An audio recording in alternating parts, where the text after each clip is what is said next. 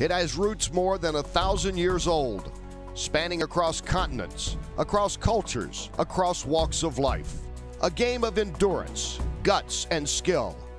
A game that is not only played by kings, but makes them. Today, at one of Polo's premier locations, one more team will be added to the royalty of this beautiful game as one of the most prestigious tournaments played on American soil crowns a new champion. From the International Polo Club in Wellington, Florida, this is the CV Whitney Polo Championship.